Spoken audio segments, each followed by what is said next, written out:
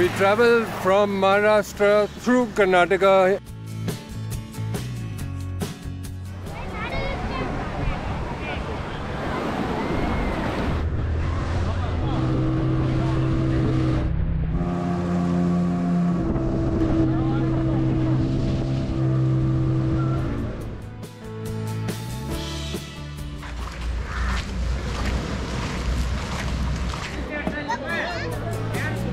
We're at St. Mary's Island, Malpe, Udupi. This is where India split from Madagascar, Africa, 90 million years ago, and began its journey to become one with Asia.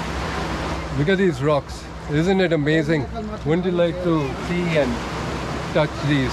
90 million years ago, India began its journey across the Tethys Sea to form the Indian Ocean. Time has weathered and smoothed the edges of these columnar basalt.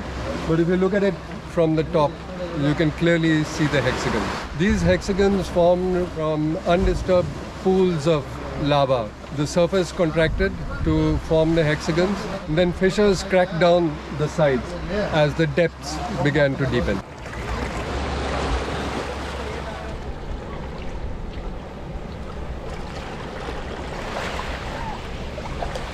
St. Mary's Island has another welcome secret.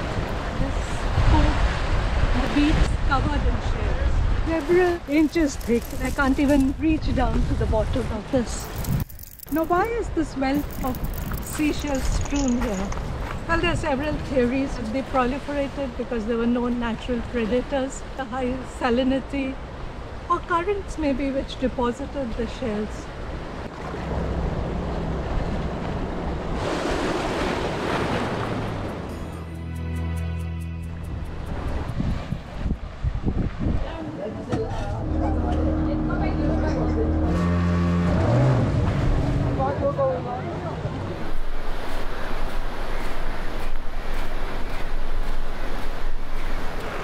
good, good, good.